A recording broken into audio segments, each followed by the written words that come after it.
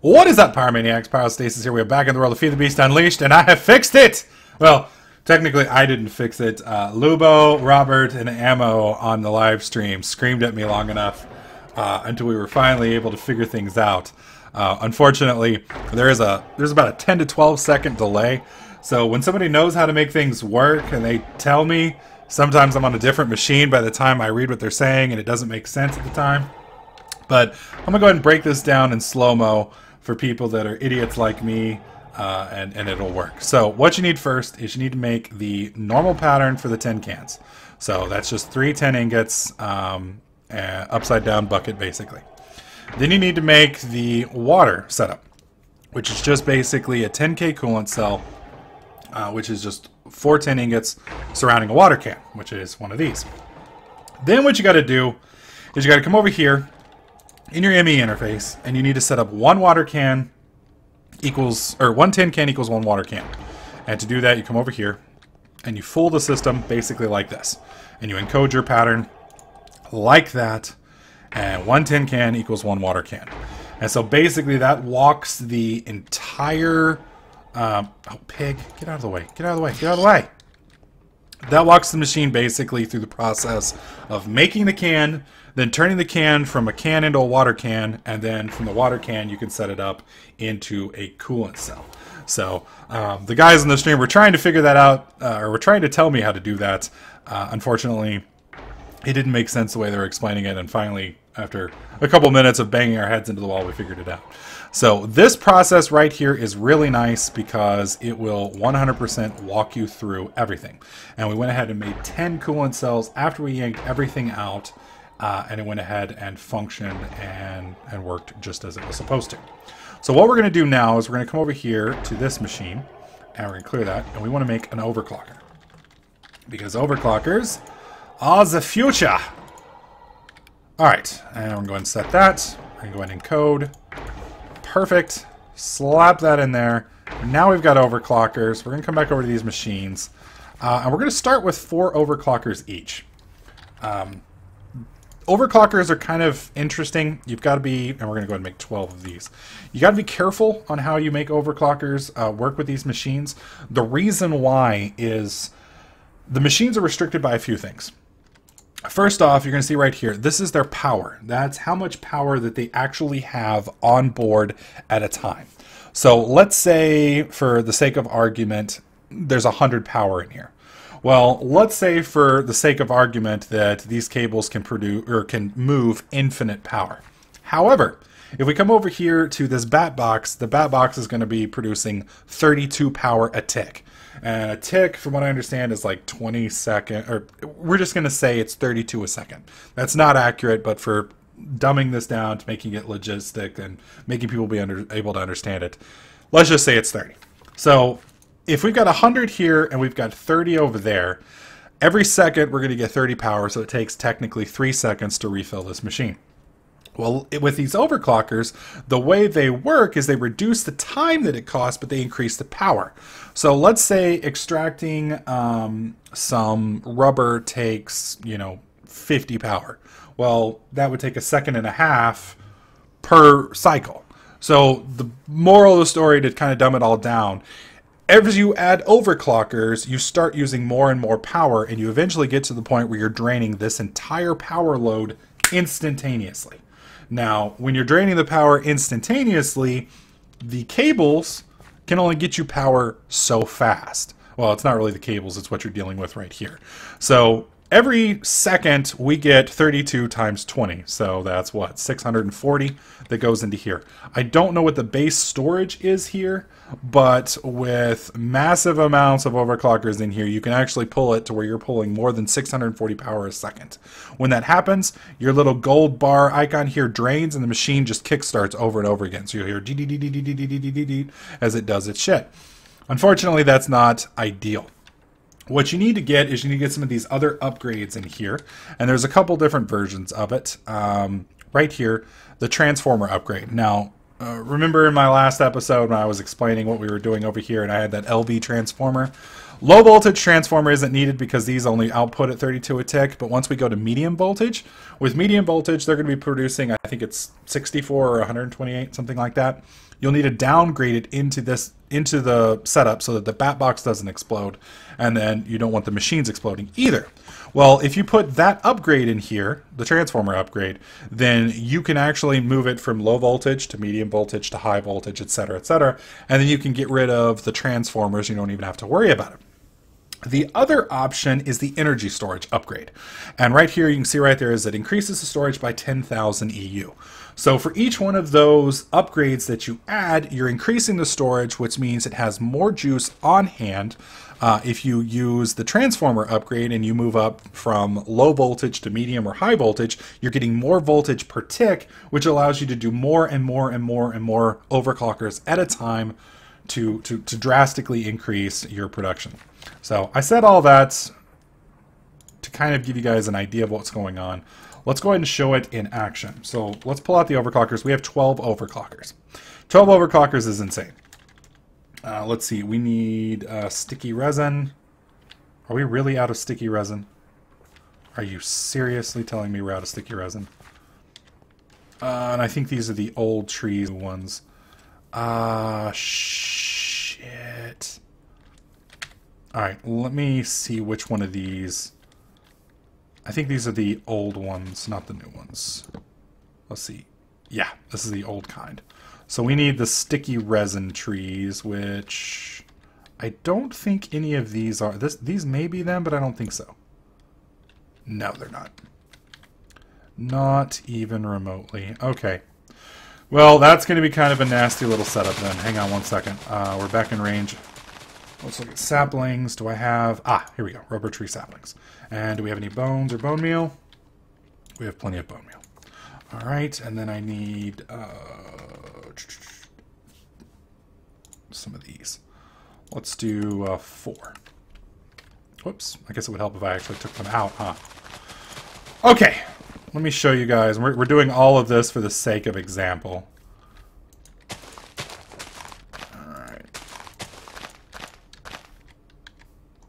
And I'm going to keep a few of them just in case. Alright. Put our tap. Pop that out. There we go. Uh, okay, and we're going to come over here. Where's our... There we go. That should be far enough away. Really? You're going to be difficult.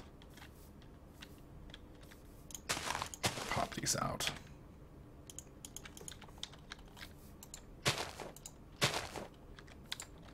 There we go. Unfortunately, I do need a decent amount of this stuff uh, to kind of showcase. Let's see, that's six. We're gonna need a little bit more than six. So that you guys can, because with it's gonna be going so fast uh, for me to showcase this correctly, we need a decent number. There we go. And there we go. Perfect. Now these trees will reproduce slowly over time, the little resins. Uh, you can bust the trees open from the sides if you like. Um, however, like always with Minecraft, if you do that with all of the leaves, then you're going to run a risk of not getting as many saplings. So we've got 10. Uh, this will kind of work for us to kind of showcase. I hope it's enough. And I can show you guys the difference. Uh, we're to put, we're to go ahead and put the 12 in there because that'll be impossibly fast and that should cycle out. Keep your eye on the little energy uh, Z or icon or whatever you want to call it there. You can see we're already draining, and the reason why is it just uses so much power. So let's put 4 in there. And that's to speed it up a bit. We're not touching the power yet. Not touching the power yet. Okay, so 6 is the limit. Uh, technically 5 is the limit. You can see we're draining the power. That's about as fast as it's going to go. And now you're going to hear the... Yeah, so we're going to pop that out. We're going to leave it at 5. And at 5, you're running as fast as possible while still being energy efficient with our current setup.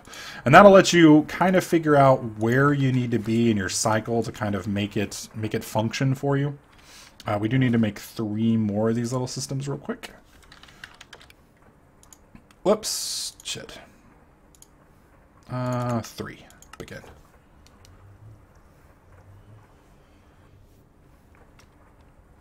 And a lot of other guys in the stream are letting me know that there are other methods that are a little bit more functional from doing this. Uh, specifically, um, what do you call it? The centrifuge, one of the guys says. Uh, the centrifuge will let us pull, uh, his math is correct, 14 rubber per 4 resin. Now, 14 per 4, that is not much better. Uh, with this, for every 3 we get 12, so a centrifuge is going to give us 14 from uh, from the same amount. So it's it's two extra bonus. Granted, if you're talking about, you know, 100,000 resin, that's definitely going to add up and definitely be a bigger number. However, for the most part, with our purposes, it's really, really not that big a deal. All right. And now we've got these all capped out and running at top end power. So that should be more than we need uh, for the future. Now, one of the issues that we're going to be running into now is the fact that we don't have enough of the right rubber trees on reproduction. Um, I've got this little farm right here, which is okay. As you can see, it's it's doing a fairly decent job, uh, but it's it's not going to be cycling as fast as uh, a good rubber tree farm would. Now we have a couple options on how we're going to do this. Um, I think we're going to use, I believe, a squeezer will be what we need, uh, and we're just going to change the wood type over here from what it's currently using to a different one. But we do need to verify that a squeezer will work first. Uh, and I, I'm pretty sure it'll work. I'm pretty sure it'll work. We've got plenty of these. I just want to make sure that we keep these on hand. Because you don't want to run out of, uh, of your rubber trees because it will suck otherwise. All right. And yeah, the guys in the stream are telling me... Now, I can toss it into the extractor here, but I don't think that gives me resin. At least I don't think it does. Um, I think it just gives me... Just gives me rubber. Yeah. So if I just put those in there, yeah, it'll, it'll give us stuff, but it's only going to give the setup. So I, I, we're going to try a squeezer, I think is what they're called. Is that what it's called? Because we got the extractor. Is it the squeezer? Monster spawner. No, squeezer is going to be a different setup. So, no, I don't think it's a squeezer. Squeezer is going to be uh, forestry, which is totally different. So I'm not actually sure what extracts resin from the rubber trees. Let's see. Yeah. So no, I don't... Uh, don't think that's that. Uh, so we're just going to do the, the rubber wood from right here. It'll give us something. It's not going to be amazing, but it will give us... It'll give us something. And we do have quite a bit of it on hand, as you can tell. So we're just going to do this. Slap that in there. Slap that in there. Slap that in there. And then we're going to come over here to the back. I believe these are... Whoa! We actually draining the power too fast? No. Swap it over to four. Wow. So apparently, there is a change in power usage based on what's being produced. Holy crap. Yeah, that's that's uh that's pretty annoying actually. All right, let's uh, let's dig down here because I want to get this resin wood uh, utilized here. So give me just a second. All right, whoops, dropping down. Still not low enough.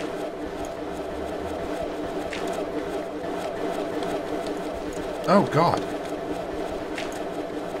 I do apologize for that horribly loud noise, guys. We'll have that sorted here in just a second as we move away from the system. There we go. Those are going to do that for a while.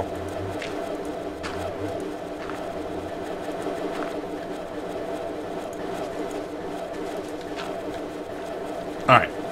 Moving away. Moving away. Moving away, moving away, moving away. Okay.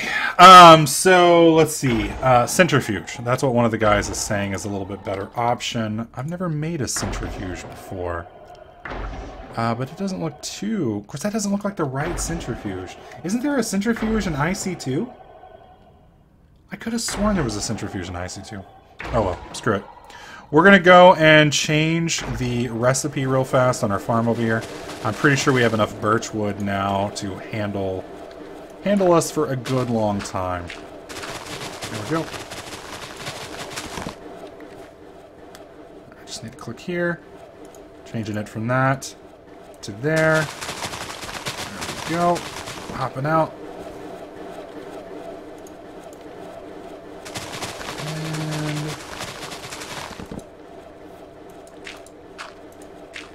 There we go. And over time, that should cycle out. Let me go and break all these. Is it still planting those? It is still planting those. Why is it still planting? I did switch it. WTF, mate. Okay, precision... Oh, it's because it's full. Good God, look at all those trees. There we go. My God! Just a few birch trees. Jesus, look at that. Holy crap. No wonder. There we go. Now we'll start working our way towards getting all the resin we need. There we go. And that farm should be more than enough to keep us rolling with that uh, pretty much forever. Now, the main issue we're going to have now is, as you guys can hear that really annoying fucking noise in the background, that's what we've got to solve now. Uh, but we're not going to be able to solve that until we make it to medium voltage. So we've got, let's see, one, two, three, four, five. We've got five solar panels. Um, we need three more. So let's go ahead and do three. Begin. I'm actually going to step inside here so we don't have to hear that. It's it's either the the hum of the uh, the rock crushers or the hum of the the squeezers outside. I'm pretty sure the hum of the uh, rock crushers is a little less annoying. All right, so we're actually running out of coal dust, so we need to make some coal. That's pretty easy to do. I'm going to have to teach one of these machines how to do that as well eventually. For now, not too big a deal. Just put some of these in here. These guys all sorted out. Uh, I just realized... Okay, yeah, it's good. One, two, three, four.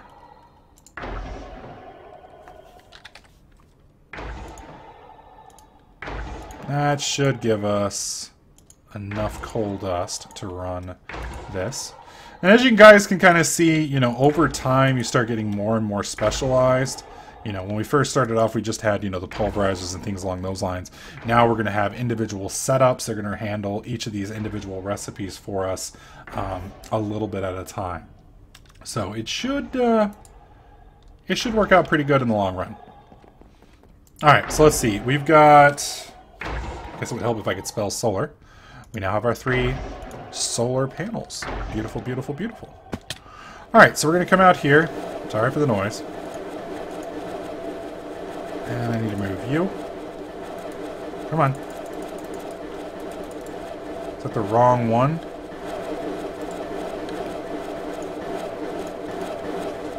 You know, the Omni Wrench should work with everything. Okay, what the hell is going on? I cannot break these?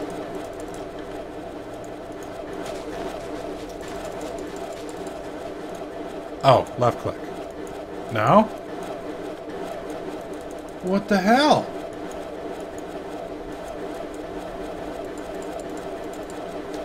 Okay. I'm 90% sure if I break these with a fist or with the uh, the pickaxe that it's going to break. Okay, you got to click the top. Oh, fucking hell. Yeah, you don't want to break these normally. It ends badly. Fucking A. Gosh, so picky. Can't break it from the side. Can't break it from the bottom. Gotta break it from the top. Bitch. Alright, um, now we need to move to the next level of solar. And I'm going to need more blank patterns now. Let's go ahead and make 10 of those. Thank you.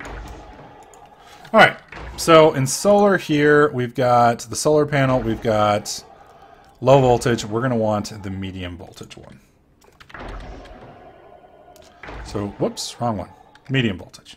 So now we need an MV transformer, which isn't too hard. Let's go and put these in. Alright, so we need the... Is that the right one? Medium voltage one? Yeah. So we're going to go ahead and set that up. Go ahead and code it. Now I need to learn how to do U. Go ahead and code that. And now I need to learn to do these guys. Um, gold cable. Alright, so we need to make the gold cable here. That's pretty easy. And code. And then now we just need to get the rubber out of the system. So give me some rubber, please. Which, as you can see, we've got plenty of now. Rubber not going to be problem. Ever. Alright. So we've got these, and you have the option of either making the pop, top one or the bottom one. We're just going to make this one down here. It's the same basic recipe. Alright, so we're going to click that. That should be good. Click encode. There we are. And I think that's everything. So that's the gold, transformer, low voltage. Yes. Alright. Now all we need to do is click here, put you guys in there, and I believe we can now make the medium solar array. So let's try it. Medium voltage solar array, begin, whoops, no, begin. And it's going to be producing all of those other little setups. There we go. Medium voltage. Now with this, we are going to need the LV transformer. So we're going to build that. There we go. All right. We'll go ahead and sleep till nighttime, or daytime, I guess I should say. And there we go.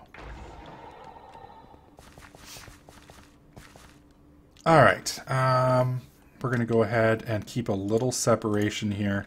So we're going to put him right there. Uh, if I recall, it's like like that, I believe. And then we're going to do the medium voltage, which is right here. As you can see, well, actually it doesn't tell us how much it produces a tick. Uh, it's more than 32. All right. Uh, da, da, da, you know what, actually? Let's bypass this completely. What do you say? Well, no, we'll do it in the next episode because that's going to take a while. All right, let's make some glass fiber cables.